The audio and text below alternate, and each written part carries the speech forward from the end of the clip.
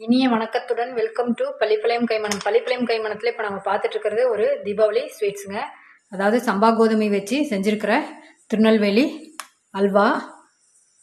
பாருங்கள் எவ்வளோ சூப்பராக அருமையாக வந்திருக்குதுங்க அட்டகாசமாக நம்ம வீட்டிலையே இந்த அல்வா ரெசிபியை ஈஸியாக செஞ்சிடலாங்க இதுக்கு வந்து சில பேர் கோதுமை மாவுலையெல்லாம் செய்வாங்க. அதெல்லாம் டேஸ்ட் வந்து அந்த அளவுக்கு இருக்காதுங்க. நம்ம சம்பா கோதுமையை ஊற வச்சு ஆட்டி பண்ணால் தான் நம்மளுக்கு இந்த டேஸ்ட்டு இதில் வந்து நான் கலரே ஆட் பண்ணலைங்க. சுகரை போட்டு கேரமலைஸ் பண்ணி அந்த கலர் மட்டும்தான் நான் ஆட் பண்ணியிருக்கிறேன். உடம்புக்கு வந்து நம்மளுக்கு எதுவுமே ஃபால்ட்டு வராதுங்க. அந்த அளவுக்கு சூப்பராக நம்ம வீட்டிலையே பாருங்கள் செஞ்சுருக்கேன். இதே ரெ இந்த ரெசிபி வந்து நம்ம வீடியோக்குள்ளே போய் எப்படி செய்யலாங்கிறத பார்க்கலாங்க.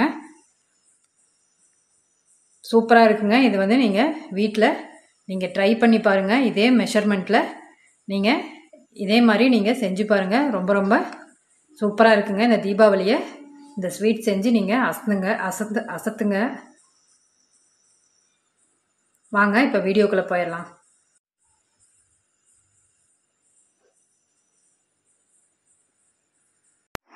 வாங்க இப்போ வீடியோக்குள்ளே போயிடலாங்க இப்போ நான் இந்த சம்பா கோதுமை எடுத்திருக்கேங்க. அதாவது திருநெல்வேலி அல்வா செய்கிறதுக்காக இந்த கோதுமையை ஒரு கப்பு ஃபுல்லாக எடுத்துருக்கோங்க. கிட்டத்தட்ட இது வந்து இரநூறு கிராம் வருது. இந்த கோதுமையை நம்ம ஃபஸ்ட்டு ஒரு எட்டு மணி நேரம் ஊற வச்சுக்கலாங்க.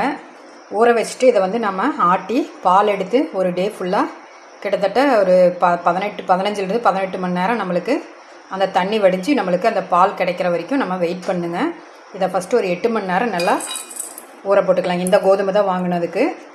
பாருங்கள் கோதுமை வந்து நல்லா ஃபஸ்ட்டு குவாலிட்டியாக இருக்கணுங்க. அப்போ தான் நம்மளுக்கு அல்வா நல்லா வரும். பாருங்கள் இதை இப்போ ஊற வச்சிடலாங்க கழுவிட்டு.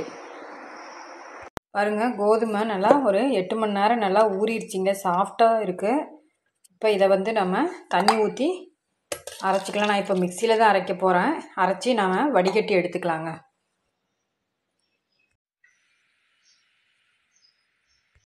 பாருங்கள் ஃபுல்லாக வடிகட்டி எடுத்தாச்சுங்க.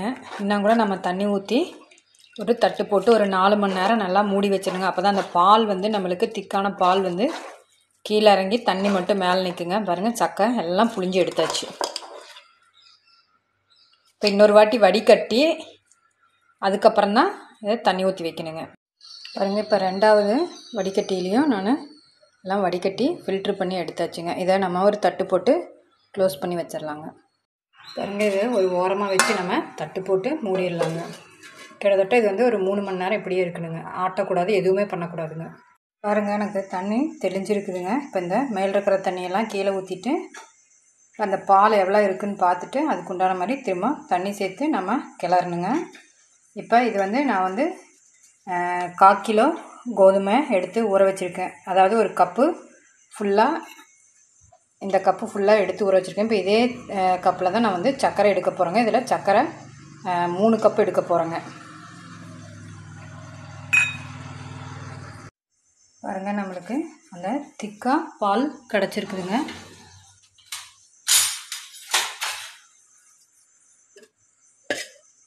பாருங்கள் ஃபுல்லாக நான் கையை வெட்டி எடுத்து காமிச்சாவே தெரியுங்க.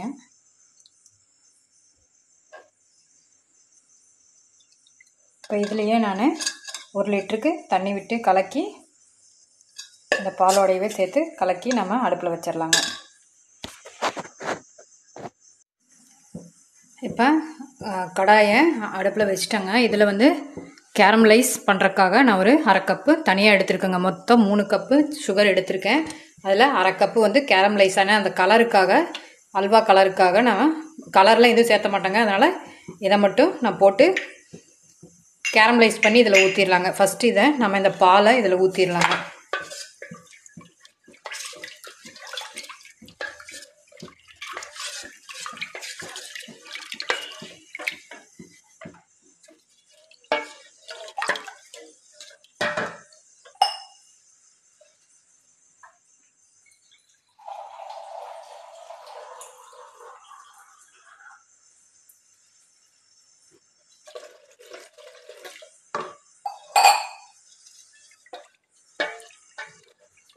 இந்த பாலை மட்டும் நான் ஃபஸ்ட்டு இதில் ஊற்றுறேங்க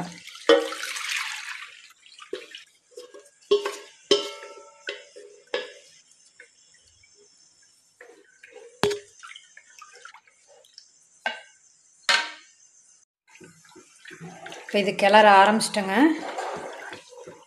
இது வந்து கிட்டத்தட்ட ஒரு முப்பதுலேருந்து நாற்பது நாற்பத்தஞ்சு நிமிஷம் ஆகுங்க. நம்ம அல்வா கிளறி முடிக்கிறதுக்கு. இப்போ தான் நான் ஸ்டார்ட் பண்ணியிருக்கேங்க. ஏன்னா இது கைவிடாமல் கிளறணும். இது கொஞ்சம் ப்ராசஸ் ரொம்ப பெருசு தாங்க ஆனால் சாப்பிட்றதுக்கு ரொம்ப ரொம்ப டேஸ்ட்டாக இருக்கும். சில பேர் ஃபஸ்ட்டே சுகரும் போட்டுருவாங்க. நான் ஃபஸ்ட்டு சுகர் போடுறதில்லைங்க.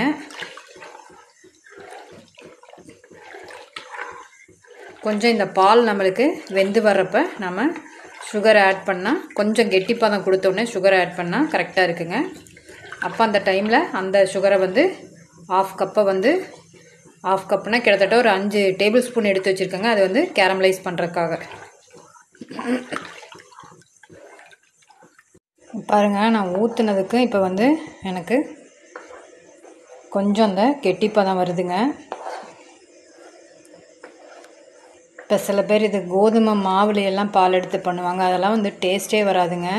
நம்ம சம்பா சம்பா கோதுமையை வந்து வாங்கி எட்டு மணி நேரம் நல்லா ஊற வச்சு அதை வந்து நல்லா ஆட்டி எடுத்து பிழிஞ்சி வடிகட்டி திரும்ப அது ஒரு ஆறு மணி நேரமாவது நல்லா அந்த தண்ணியை வடிய வைக்கணுங்க. வடிய வெட்டதுக்கப்புறம் தான் அந்த புளிப்புத்தன்மை ஏறினதுக்கப்புறம் நம்ம பண்ணால் அல்வா வந்து ரொம்ப ரொம்ப சூப்பராக வருங்க. மைதாவில் பண்ணுவாங்க கோதுமை மாவில் பண்ணுவாங்க அதெல்லாம் சுத்தமாகவே நல்லா இருக்காதுங்க. ஏன்னா ஒரிஜினல் நம்மளுக்கு வரணுன்னா கொஞ்சம் நம்ம மெனக்கெட்டு பண்ணி தான் ஆகணுங்க ஏன்னா எப்போயாவது ஒரு ஃபெஸ்டிவல் டைம் தான் பண்ணுறோம்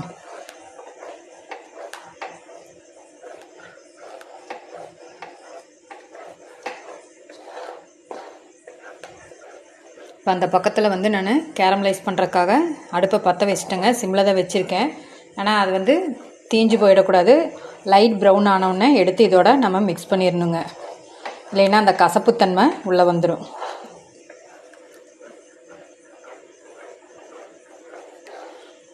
இந்த ஸ்டேஜில் நாம் சுகர் ஆட் பண்ணிக்கலாங்க. நான் சுகர் ஆட் பண்ணுறேன்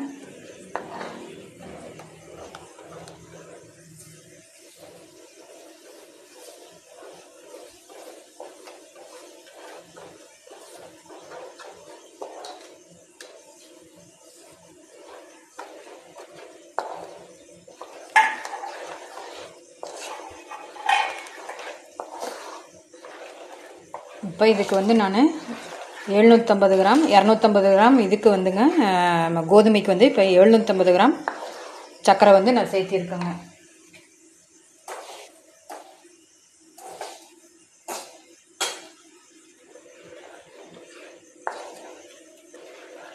சுகருன்னா நீங்கள் கொஞ்சம் கம்மியாக வேணும்னா நீங்கள் இதுலேருந்து ஒரு ஆறுநூறு கிராம் வர மாதிரி நீங்கள் போட்டுக்கோங்க. ஏன்னா அல்வாக்கெல்லாம் கொஞ்சம் இனிப்பு இருந்தால் தான் நல்லா இருக்குங்க.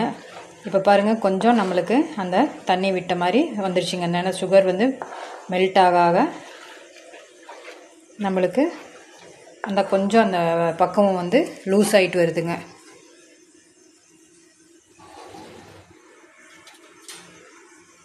இப்போ இந்த டைமில் நான் கொஞ்சம் ஏலக்காய் பொடி சேர்த்துறேங்க. சுகரோட போட்டு தான் நான் மிக்ஸ் பண்ணியிருக்கேன்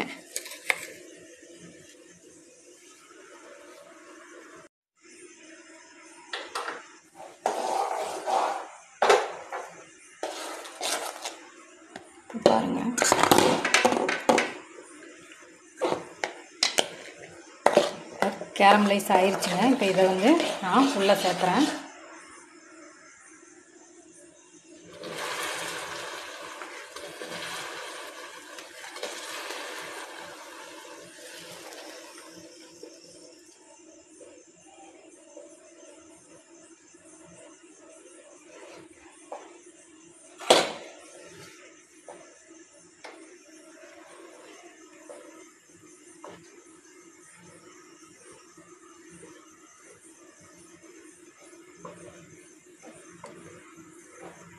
பாருங்கள் ஓரளவுக்கு நம்மளுக்கு அந்த சுகரும் அதுவும் எல்லாம் மெல்ட் ஆகி பாருங்கள் இப்போ தான் அடி பிடிக்க ஆரம்பிக்குதுங்க. இந்த டைமில் நம்ம கைவிடாமல் கிளறிட்டே இருக்கணுங்க.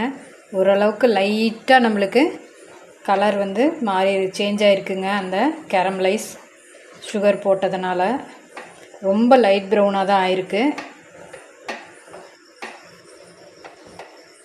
இப்போ நம்ம அடிவிடாமல் கிளறினுங்க பாருங்கள் இதே பிடிக்குது எனக்கு. நான் இப்படி கிளறிட்டே இருக்கேன். அப்பையும் எனக்கு அடி பிடிக்குதுங்க. திக்னஸ் கொடுத்துட்டு வருது. ஏன்னா இதுக்கு வந்து நம்மளுக்கு அடிகனமான பாத்திரம் இருந்தால் தான் இந்த அல்வாலாம் நம்ம செய்ய முடியுங்க. இல்லைன்னா சரியாகவே வராது.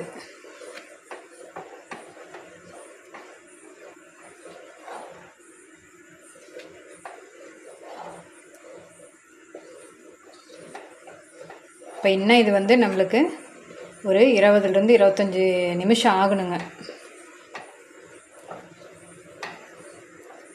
அது வரைக்கும் இப்படி நான் கிளறிட்டே தான் இருக்கணும். இப்போ கிட்டத்தட்ட ஒரு பத்து நிமிஷம் ஆயிடுச்சிங்க பாருங்க திரும்ப கொஞ்சம் கெட்டியாக இருக்கு நம்மளுக்கு ஏர் பபுள்ஸ் வர ஆரம்பிச்சிருச்சுங்க. இந்த டைமில் நம்ம கொஞ்சம் கொஞ்சமாக நெய்யை சேர்க்கலாங்க. ரொம்ப ஒட்டுக்காக சேர்க்கக்கூடாது கொஞ்சம் கொஞ்சமாக சேர்த்திக்கலாங்க.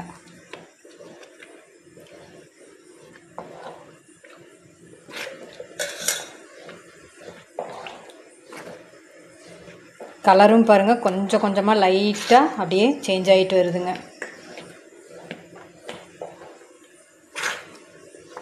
முதல்ல நம்ம போட்டு சர்க்கரை போட்டது கொஞ்சம் இலகிச்சு.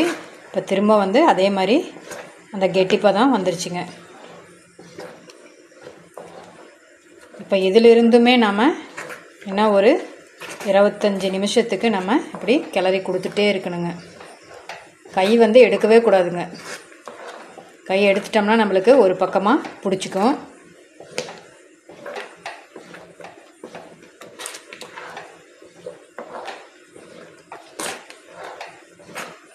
பாருங்கள் நல்லாவே ஏர் பபிள்ஸ் வர ஆரம்பிச்சிருச்சு. பாருங்கள் அடுத்தது நம்மளுக்கு அந்த நெய்யெல்லாம் குடிச்சிருச்சுங்க. திரும்ப அடுத்த பபுள்ஸ் வர ஆரம்பிச்சிருச்சு. இப்போ நான் கொஞ்சம் அந்த கரண்டியும் மாற்றிட்டேங்க ஏன்னா அந்த கை மேலே உழுகுது. அதனால் கொஞ்சம் பெரிய கரண்டியாக இருந்தால் ஈஸியாக இருக்கும். நீங்களும் கிளறப்ப. நல்லா பெரிய மரக்கரண்டியாக வச்சு கிளறினீங்கன்னா கரெக்டாக இருக்குங்க. இப்போ நம்ம கிளறத்துக்கும் கொஞ்சம் ஈஸியாக இருக்கும். இப்போ அடுத்தது கொஞ்சம் நெய் ஊற்றிக்கலாங்க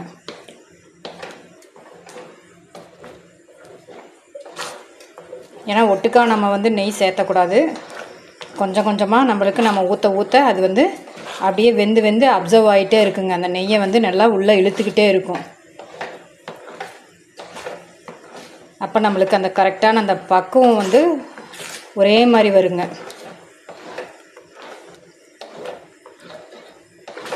இப்போ நாங்கள் கிளற ஆரம்பித்து இப்போ பதினெட்டு நிமிஷம் ஆயிடுச்சுங்க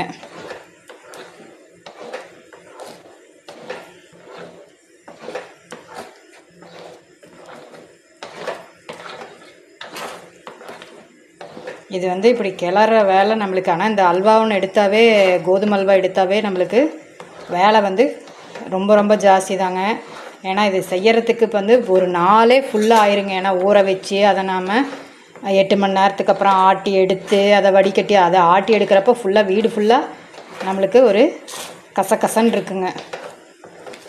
அதுக்காகவே மெயினாக எல்லாம் கடையில் வாங்கிட்டு போயிடுவாங்க ஆனால் தெரிஞ்சு வச்சுக்கலாங்க. இனி வர அடுத்த ஜென்ரேஷன்லாம் இந்த மாதிரியெல்லாம் போட்டு கிளறிட்டு இருக்க மாட்டாங்க. இதெல்லாம் இந்த ஜென்ரேஷனோட முடிஞ்சுது.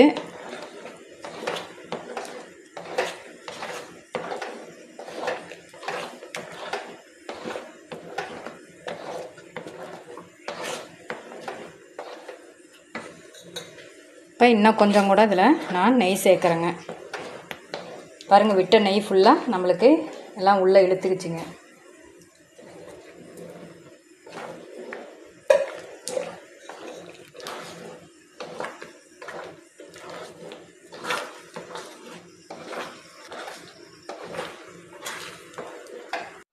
திரும்பவும் நான் கொஞ்சம் நெய் விட்டுருக்குறேங்க.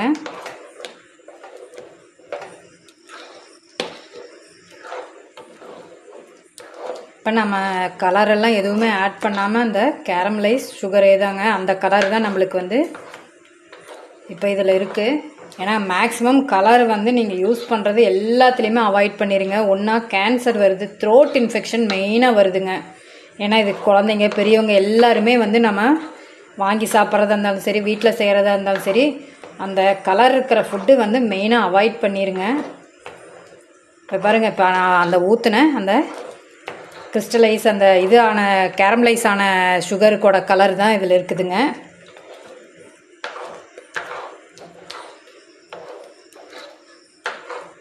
ஆனால் வெளியே நீங்கள் ஸ்வீட்ஸ் எல்லாம் வாங்கினீங்கன்னா போய் ஃபுல்லாக எல்லாம் கலர் தான் ஆட் பண்ணுறாங்க லட்டுலேருந்து எல்லாத்துக்குமே வந்து உங்களுக்கு கலர் வாங்கி சாப்பிட்ட உடனே இன்ஃபெக்ஷன் ஆகுதுங்க. திரும்ப ஆஸ்பத்திரிக்கு அப்போயே ஓடணும்.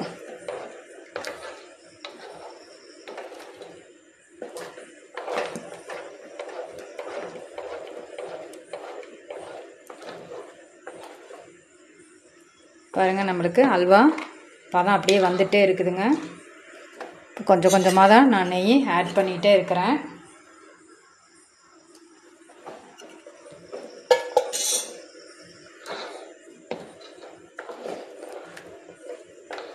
இப்போ இருபத்தி ஒரு நிமிஷம் ஆயிடுச்சுங்க இன்னமே இது வந்து நம்மளுக்கு இன்னொரு பதினஞ்சு நிமிஷம் நல்லா கிளறணுங்க.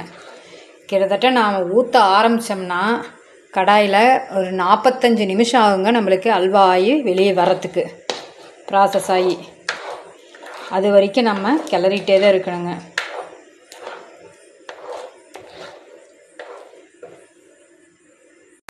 இப்போ இந்த டைமில் நான் முந்திரி ஆட் பண்ணுறேங்க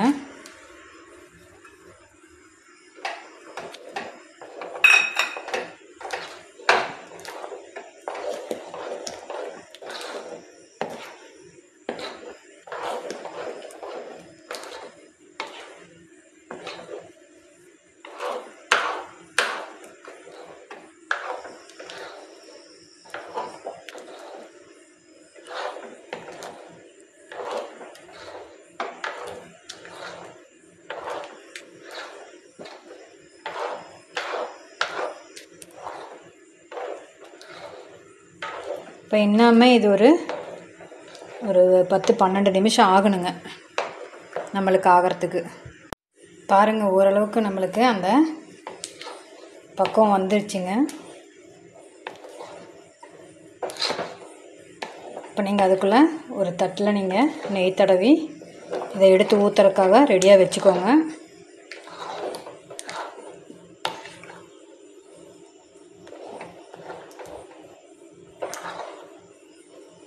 கிட்டத்தட்ட இப்போ நாற்பது நிமிஷம் ஆயிடுச்சுங்க நான் கிளற ஆரம்பிச்சு. இன்னொரு அஞ்சு நிமிஷத்தில் இதை நம்ம எடுத்து வேற ஒரு தட்டுக்கு மாற்றிடலாங்க ஆனால் இது செஞ்சிட்டோம்னா கொஞ்சம் கஷ்டம்தாங்க. ஆனால் செஞ்சு செஞ்சு வச்சிட்டோம்னா சாப்பிட்றதுக்கு அவ்வளோ ஒரு டேஸ்ட்டாக இருக்கும். மேக்ஸிமம் அல்வா பிடிக்காதவங்களே இருக்க மாட்டாங்க. ரொம்ப சூப்பரான சம்பா கோதுமை அல்வா ரெடி ஆகிட்டே இருக்குதுங்க.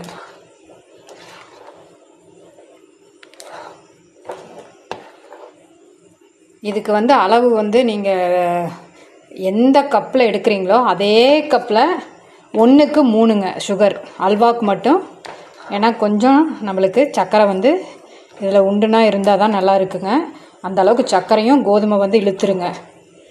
ஒன்றுக்கு மூணு கணக்கு வச்சுக்கோங்க. அதே மாதிரி தேங்காய் பால் வந்து எடுத்திங்கன்னா தேங்காய் பால் எவ்வளோ இருக்கோ அதிலிருந்து ஒரு ஒன்றரை மடங்கு தண்ணி விட்டுக்கணுங்க. அவ்வளோதான் இதனோட மெஷர்மெண்ட்டு நீங்கள் எதில் மட்டும் நீங்கள் கோதுமையை அளந்து எடுக்கலாம். எடுத்தீங்கன்னா அந்த அதே கப்பில் சேம் ரேஷியோவில் சுகர் எடுத்துக்கோங்க மூணு கப்பு. சில பேர் ரெண்டு போடுவாங்க ஆனால் ரொம்ப கம்மியாக இருக்குங்க. சுகர் வந்து ரொம்ப கம்மியாக இருக்கிற மாதிரி இருக்கும். இந்தளவாவது போட்டிங்கன்னா தான் உங்களுக்கு கொஞ்சமாவது நல்லா இருக்குங்க. பாருங்கள் ரெடி ஆயிடுச்சுன்னு இப்போ நான் எடுத்து வேற ஒரு பிளேட்டுக்கு மாற்ற போகிறேங்க அல்வா ரெடி ஆயிடுச்சுங்க